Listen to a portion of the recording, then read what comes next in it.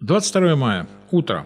Пожалуй, первый теплый, солнечный, весенний день в нашем городе. И отдельное спасибо организаторам полумарафона за то, что и с погодой договорились, и участников много пригласили. 10.30 около Дома культуры энергия торжественное открытие соревнования. Ми тільки входимо в період постковідний, і який він буде Велике питання. Чи повернемо ми все те, що втратили в минулому і в цьому році?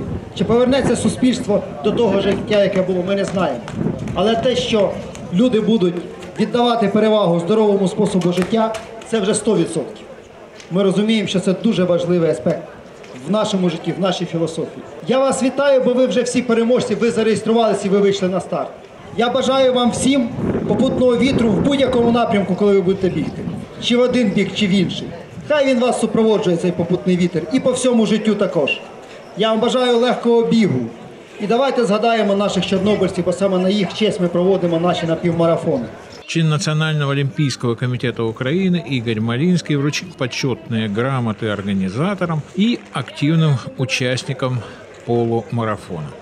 Небольшая разминка, естественно, многочисленные фотосессии и старт 32-го полумарафона.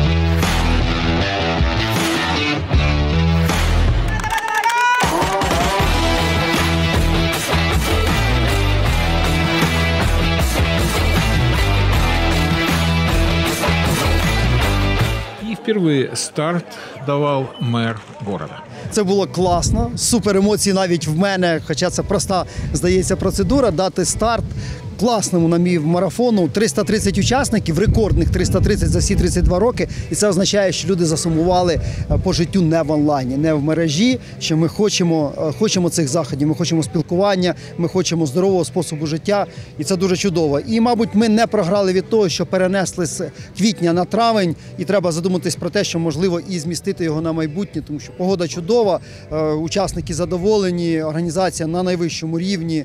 І тепер головне, щоб був вдалий фініш. Вдалий старт в нас вийшов. Старт пришлось давать три раза. Карантин все-таки вмешался, и бегуны на различные дистанции стартовали в отдельных группах. Это стартуют спортсмены на 10 километров.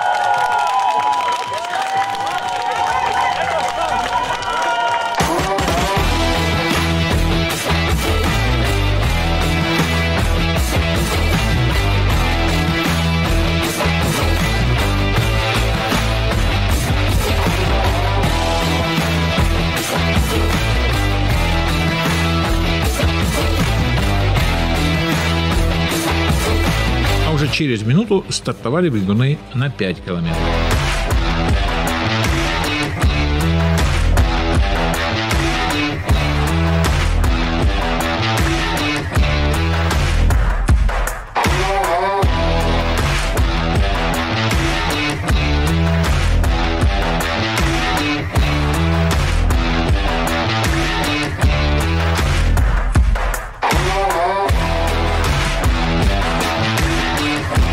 Уже догадываетесь, первыми к финишу прибежали участники забега на 5 километров.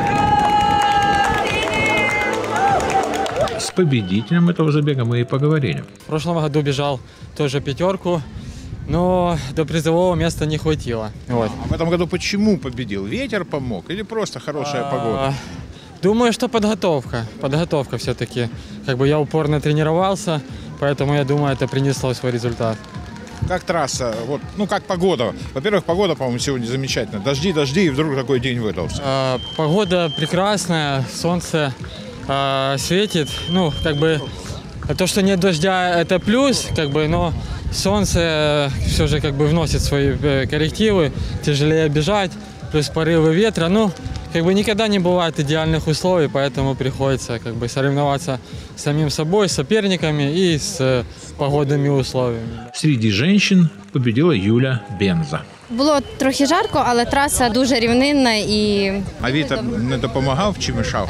ну назад вже мішав. Краще він вперед мішав, бо назад вже бігти тяжче. Тому трішки заважав, але фізична підготовка завжди все виправляє. Як траса, чи ви не перший раз тут?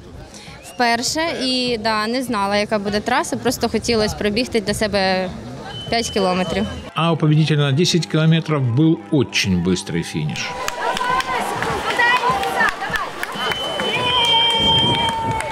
А минулого року біжав на півмарафон, а був четвертий. Цього року вирішив а, ну, якби, да, випробувати себе на більш короткій дистанції. І на диво це вдалося досить, досить непогано. Ви досить е, здорово фінішували. фінішували. Да. Особливо враховуючи, що вчора у друга було весілля, і я був дружком. Тобто уявіть цю важкість сьогоднішнього бігу мого. Ви як би біжали з весілля, я так. Е, Щось таке. Да, з з дружкою не склалося, то я й побіг. Треба ж кудись е, доведіти енергію. Да. Хтось рубає дрова, хтось там колокола дзвонить, а я бігаю. У главного организатора и участника забега с 32-летним стажем Валерия Сулимова мы поинтересовались, а что легче, организовывать или бежать? Ну, Славутич, хотя с большой развитой вроде как спортивной инфраструктурой, да, много залов, там различных клубов, но для бега вот такого на длинные дистанции, бега по шоссе, он мало приспособлен. У нас нет э, каких-то там, э, даже элементарно раздевалок и душа в одном месте. И тем не менее, люди приезжают, и приезжих намного больше, Чим словучан. чем славучан. Словучане на рынок, а, а приезжие бегают. Да, да, да. В этом году Славучан, я боюсь ошибиться, но человек может быть 40-50 максимум. Из 340. Ну и как же мы не могли не поговорить, пожалуй, с самым танцующим, а с некоторых пор и одним из самых активных бегунов Славутича и Киева Вадимом Советченко. Сегодня почему-то медленнее бежалось. Вадим, почему? Ну, во-первых, э, я после ковида. Э, Во-вторых, это первый мой старт официальный. Нет, я привитый и уже все переболел. Но я думаю, не восстановился. У меня первый вот старт такой, ну, как бы сказать, официальный. Поэтому и жара. И Поэтому ты в поддержку привез еще 40 человек из Киева, насколько я у нас знаю. просто так получилось, что у нас тут организовались внезапно танцевальные сборы на два дня. И завтра турнир танцевальный в Чернигове.